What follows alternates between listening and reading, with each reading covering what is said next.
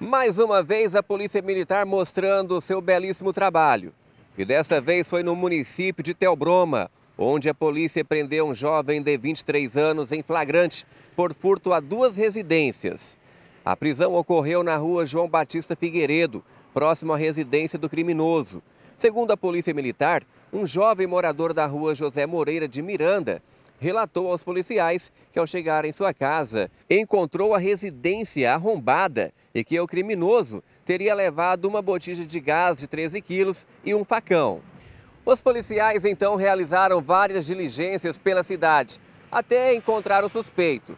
Durante a abordagem, foi observado que ele estava em posse de uma motosserra, que também teria acabado de furtar em outra residência. Além da motosserra, os policiais recuperaram a botija de gás e o facão, que teria sido furtado poucas horas antes. Em contato com o proprietário da motosserra, ele informou que ainda não tinha percebido o furto, mas reconheceu que era dele o objeto. O jovem de 23 anos foi preso pelo crime de furto e encaminhado para a Unisp, na cidade de Jaru.